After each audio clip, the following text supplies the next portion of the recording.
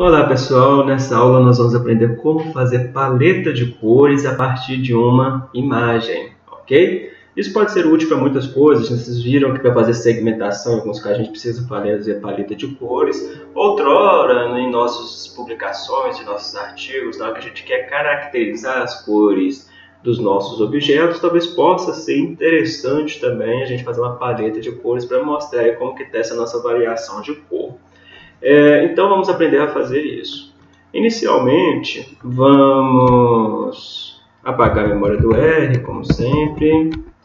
OLS, abre fecha parênteses. Vamos agora ativar o pacote.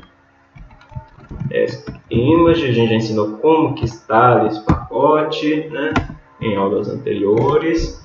É, e vamos utilizar então uma função chamada de é, color palette. Né? Então, vou colocar aqui interrogação, o nome da função para abrir o manual. Então, a gente tem aqui o manual, explica direitinho várias coisas que a gente tem aqui dentro dessa função para fazê-la funcionar, ok?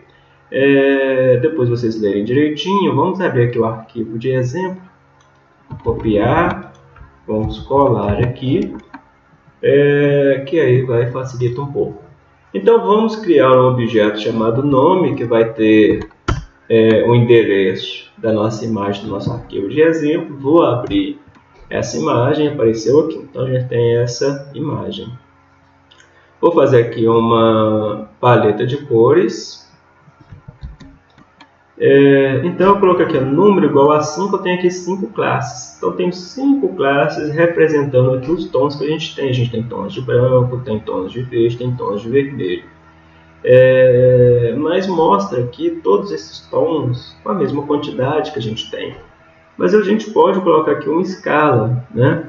É, a fim de colocar de forma proporcional ao número de pixels que a gente tem. Então a gente tem muitos pixels brancos, alguns verdes e um pouquinho vermelho. Então parece proporcionalmente ao tanto dessas cores que a gente tem em nossa imagem. Se a gente quiser aumentar o nosso número de classes, né, é só a gente aumentar os números aqui. Então vai aparecer um número maior de classes aí das nossas cores. É, temos aqui um outro exemplo, que seria esse exemplo aqui de número 10.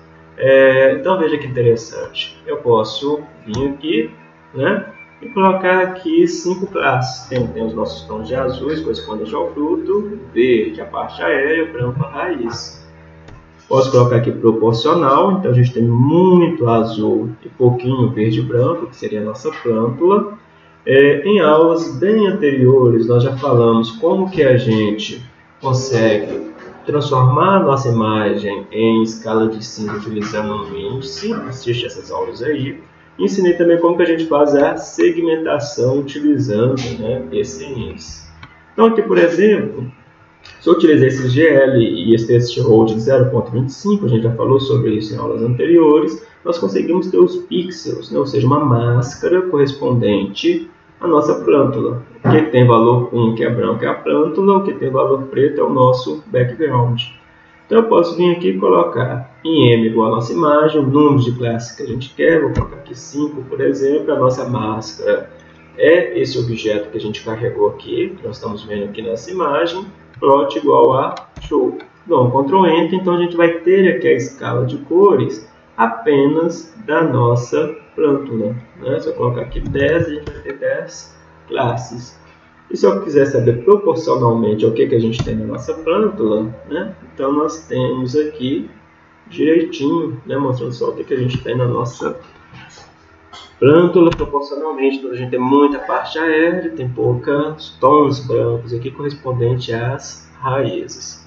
É, vocês conseguem ver, né? só para a gente ver, eu coloco aqui número 5, 5 classes, né? que utilizando a máscara a gente está excluindo então essa parte de azul, né? ou seja, a máscara a gente está obtendo a paleta de cores apenas da nossa plântula.